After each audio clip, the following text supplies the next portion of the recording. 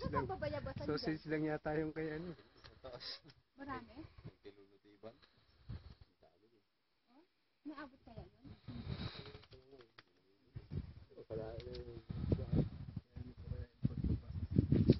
Daan yan? Dapat diba, gusto mo, gusto mo dito, gusto mo dito. Ano ba yan? Bakit may tungkod ka? Lolo?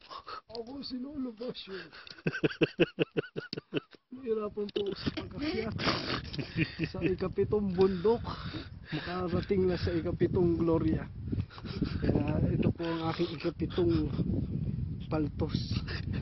sa aking Takot ikapitong pala sa limatik. May, may limatik na pinapakuha niya sa akin. limatik. Lagyan ko alcohol eh. Puta, nagdugo eh. Eh, pinapahawakan niya pa sa akin. May ano ng ano, yung yung isa nilubluban ng kalabaw. Ang dumi-dumi. Napakuha sa akin yung limatik. Ginagaya ko na si Marky. Marky. Sabi ko na, Toy, toy, toy, toy.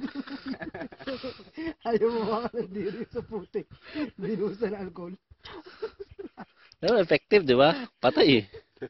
Oh, Pero ang bumuka yung bunganga, sumuka ng dugo. eh. Nawala yung galit sa akin. Siya yung tinatad. Buti nga,